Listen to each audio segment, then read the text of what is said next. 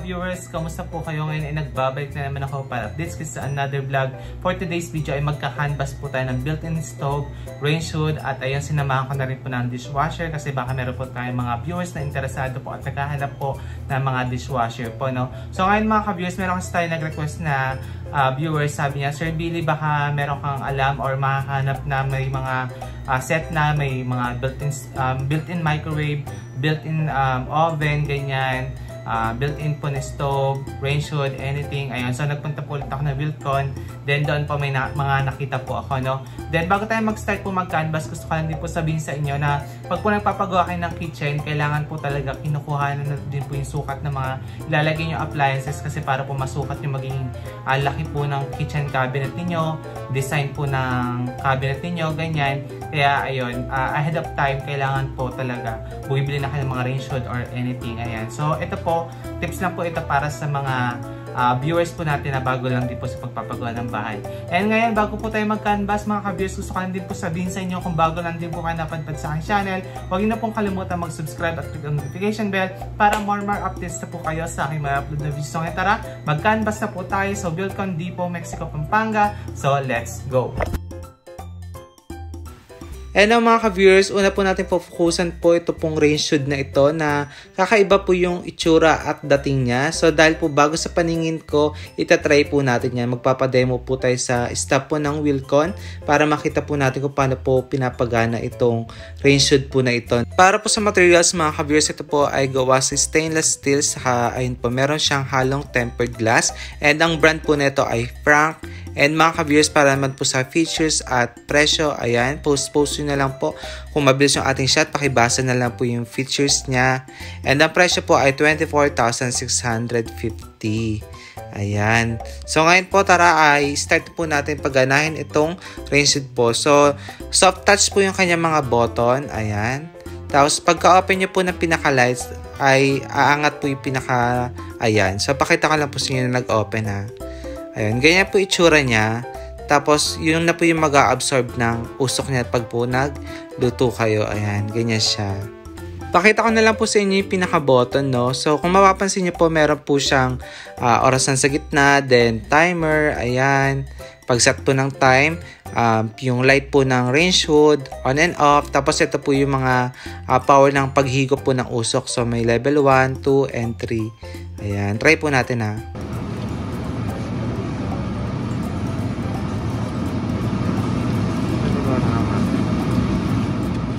In fairness po ay malakas po yung pag-absorb niya ng hangin and ayun mga kabius hindi siya ganong kaingay. And now mga kabius pakita ko lang po sa inyo yung pagpatay po ah. Ayan, so magko-close na po yung para do sa absorban. Ayan, tatakpan na po niya. Bali, ang brand po ulit nito ay Frank. Ayan. Then, ang presyo po ulit ay 24,650. Ayan po itsura niya ulit sa malayuan. Ayan, pakita ko lang po. Next range hood po tayo, bali ito ay still frank pa din po at medyo may pagkamahal ka po yung presyo niya. Anyway, yan po yung kanyang features at ang price po ulit 40,350 pero napakaganda naman po kasi ng range hood na ito. So akala nyo po flat screen na TV. Ngayon po i-try natin. Ayan. Bali pag on po, aangat po yung pinaka parang screen po na ganyan. Ayan. Tapos ayun na po yung mag-absorb ng usok once na magluto po kayo. Di ba ang galing po, ang ganda. So maganda din po kasi yung presyo niya. Tapos po yung pag-adjust po ng level po ng pag-absorb ng hangin ay or usok ay sinuswipe po ganyan. And now po ay try po natin yung rain shoot. Hi? Yes sir. Bali, susunod naman po siya sir. Susunod yan? Yeah. Budget po. Ah, okay. So susunod naman pala. Okay, ang galing ah. May time na din. Then, child lock. Ayan, ilaw. As, ayan.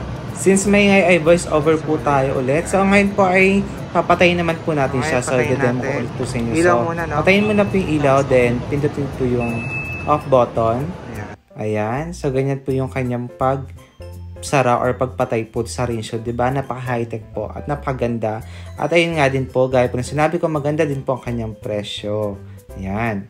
Next naman po tayo ay burner po na stove. So ito po mga ka-viewers ay may apat po na burner. Ayan. Then kung mapapansin nyo po yung pinaka-metal niya ay iron cast na po yan.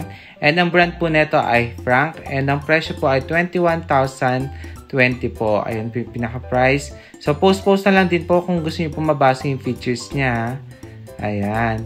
Anyway mga ka-viewers, ganyan po ulit yung itsura ng stove. And ang presyo po ay 21,000 plus. Another stove po tayo. So, ito naman po ay 2 burner naman po na stainless. Ayan, stainless steel po yan.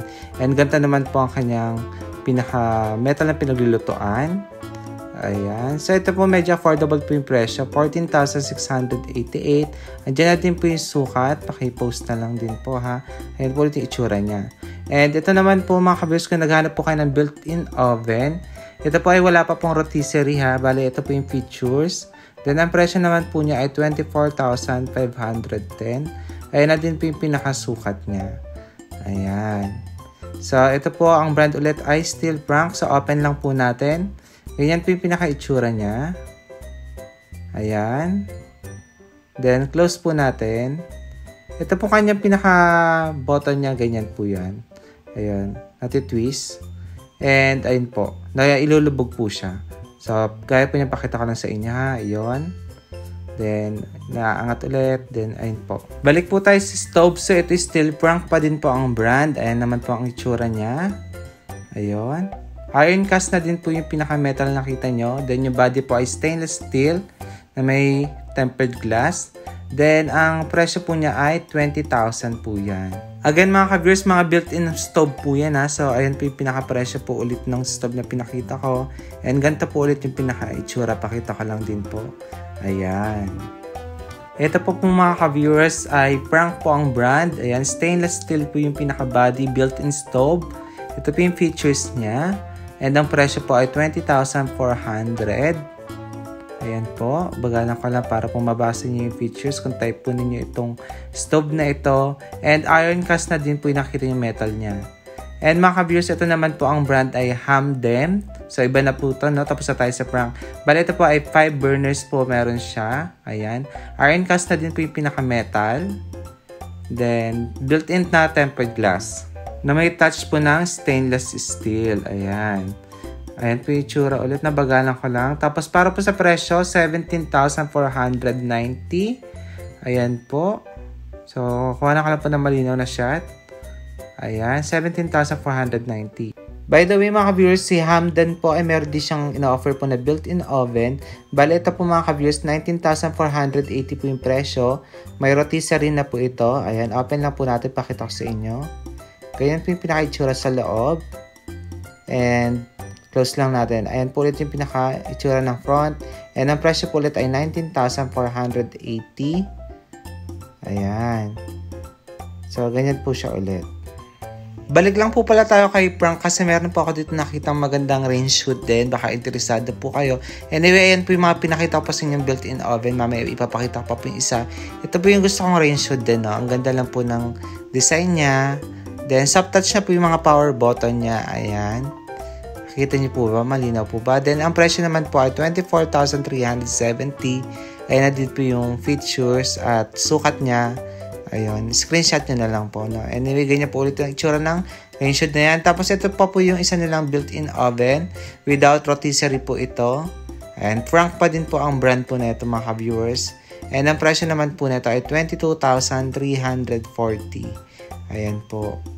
So, okay na po ito mga ka-viewers si Frank kasi halos kompleto na po yung mga gagamitin yung appliances sa inyong kusina. Ito pa po pala mga ka-viewers, baka po may naghahanap ng mga induction po dyan na stove. So, ito po meron din po si Frank na induction. And kuha na lang din po natin ng video, no? So, ayan. So, meron po siyang 3 induction po.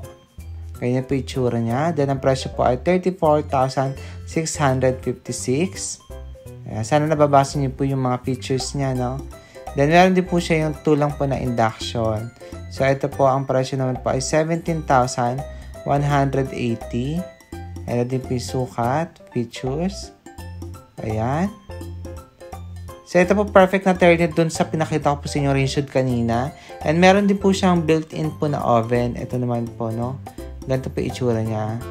Ayan. Very modern din po yung pinaka-itsura. Tapos soft touch na din po yung mga power button.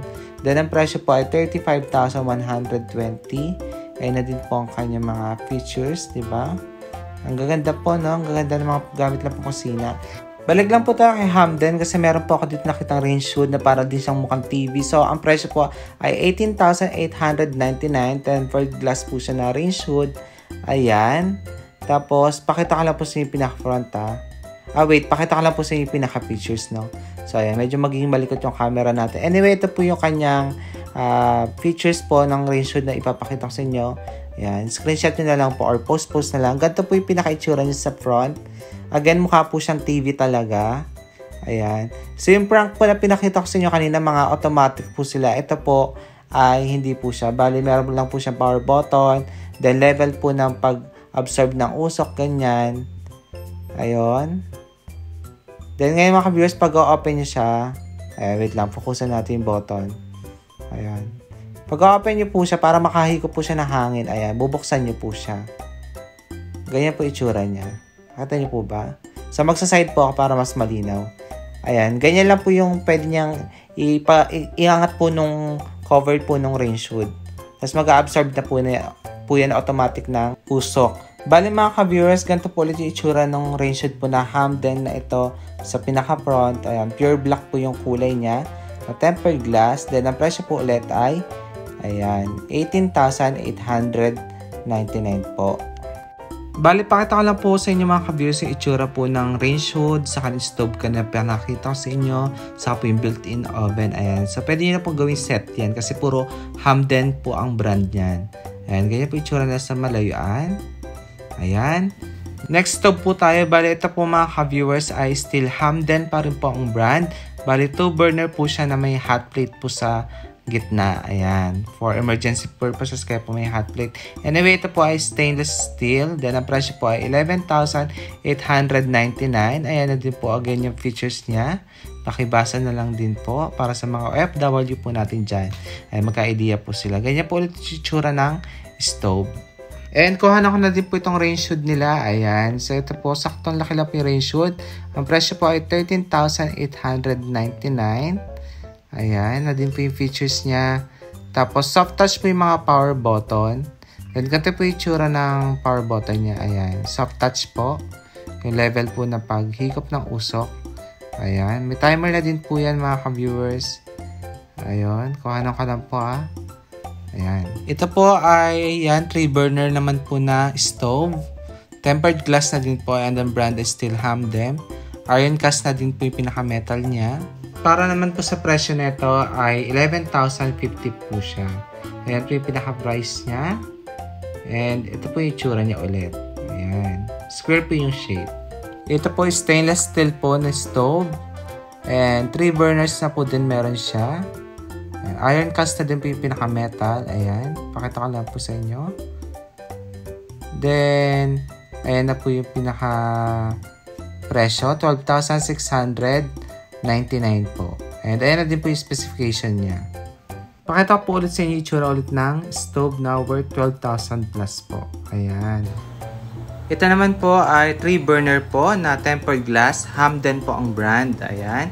Iron cast na din po yung pinaka-metal. Tapos ayan na po yung pinaka-adjacent po ng fire. Then ito po yung uh, metal niya. Iron cast po ulit yan.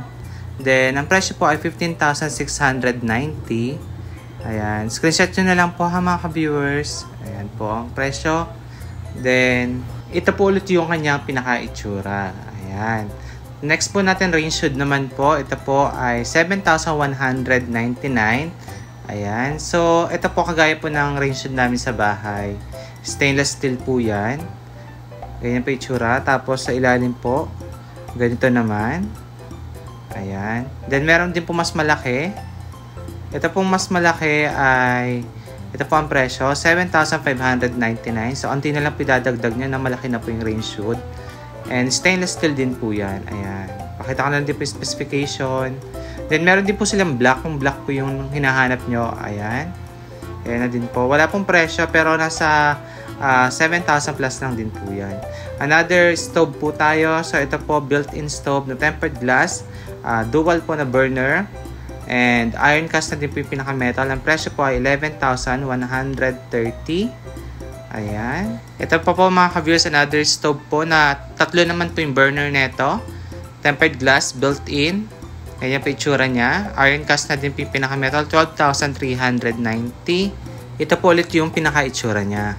Built-in stove po na stainless steel. Then, 5 burners na po meron siya. 16,390 po yan.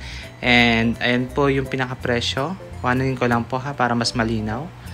Ayan, 16,390. Hindi ko mapakita sa inyo yung specification or sukat. Anyway, mga viewers, iron cast na po yan. And meron pa po sila dito, 11,590. Two burners na po siya. Stainless steel na po yan. Ayan. Hamden din po ang brand. Ito po ulit yung pinaka-itsura niya. Built-in po yan. And ito pa po, Hamden na pang-apat po na tempered glass. Four burners po ulit. Ito mga kabilis, ang ganda niya, no? Cute. Ang ganda ng pagka-metal po ng iron cast. Ayan, okay din po ito. Parang 60 by 60 po sukat niya eh. 13,495 po. Ayan. Kuha na lang ko lang po ng clear shot ulit. And ito po ulit pinaka-itsura niya. Ayan. Kung naghahanap po kayo ng microwave mga ka-viewers, si Hamden lang po yung meron na microwave na built-in. So gaya po na ito ay stainless steel po na microwave built-in na siya. And ang capacity po nitong microwave na to ay 25 liters po yan. Ayan. So talagang pure stainless steel po yan. Tapos mga viewers, ganito po yung mga power button niya. Ayan. Pakita ko na lang din po, no? So, ayan po. Then, yung pinaka-body, pag po binuilt in nyo na siya sa inyong kitchen cabinet, ganyan yung itsura niya. So, again po, 12,860 po ang presyo niyan. 25 liters po yan. Ayan. So, meron din po silang other color po. Meron silang kulay black po na built-in din po na microwave. Kaya lang po ito po mga ka-viewers ay medyo maliit lang po ito. Ito po ay nasa 23 liters lang po yung capacity niya.